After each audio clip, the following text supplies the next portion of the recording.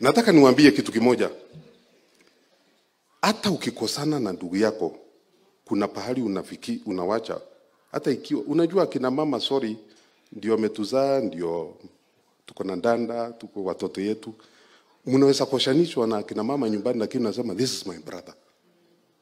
Eh, you, there must be some space. Unamwambia okay mam, nimekusikiza na mambo yote, we wacha mambo mingi, lakini unajua huyu ni ndugu yako. Sasa what went wrong?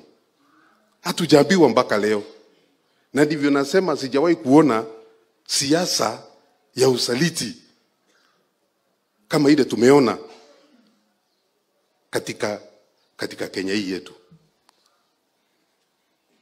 Shinda ingetokea kwa hii nchi, tunajua watu wawili, Deputy President na Uhuru Kenyatta. wale ambao walikuwa Mombasa jana. Mheshimiwa Rais ameketi pale ambapo anaketi kwa meza. Pande hii kulikuwa na Raila, Kalonzo, Musalia, Wetangula, Gideon. Pande hii ingine ni wa mawaziri wa serikali ya Jubilee. I felt pained, not because they don't have a right to be heard by the President of Kenya. I felt pained because I did not feel myself on that table. I did not see the Jubilee family in, on that table. Nikashindwa na shetani aliingililia wapi hapa? Ati leo hii hatuwezi keti kwa meza, tumeitwa na mheshimiwa rais kama watoto wake wa Jubilee, lakini anakumbuka wengine, na si mbaya akiwakumbuka, lakini unasahau watoto wako. Kwa nini? Ile neno imehubiriwa. Najua nilikuwa pasta miaka tatu. E, saa hii ukiniambia nikuwe pasta nitakataa, lakini bado nakumbuka kidogo kidogo. Neno ile imehubiriwa ni mambo ya David, na tumekubaliana David is in the house. Kana namna gani? Wangapi wanakubali David is the house? Amen.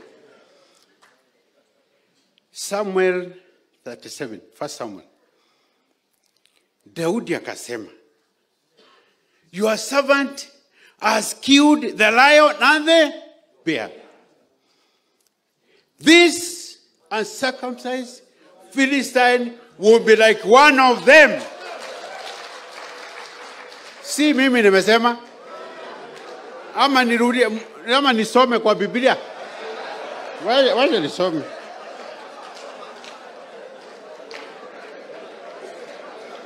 Ati the, your servant has killed the lion and the bear. This uncircumcised Philistine will be like one of them.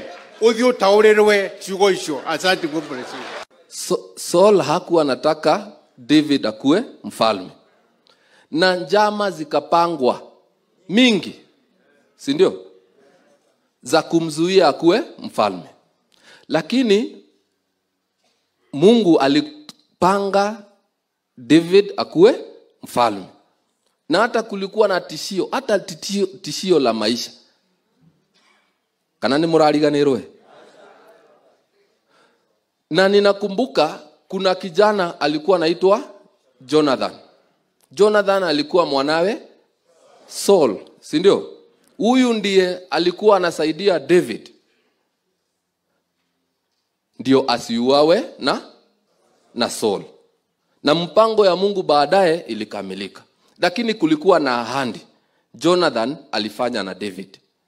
Kwamba ukifika pale usinisahau. Si ndio? Sasa your excellency, wewe ndio David, hawa wachungaji ndio Jonathan. Sasa mwaka ujao utakuwa rais. Ni vizuri uweke kwa akili yako, ndio ufanye kama vile David alifanya. David alitimiza ahadi, alikumbuka familia ya Jonathan, si ndio? Kwa hivyo tungekusii mwaka ujao tukikupeleka pale, ukumbuke hii familia ya wachungaji, usikae kando na wao, na kwa sababu tunaona vile unaendanisha na sisi tunaamini hata hiyo wakati utakuwa pamoja na sisi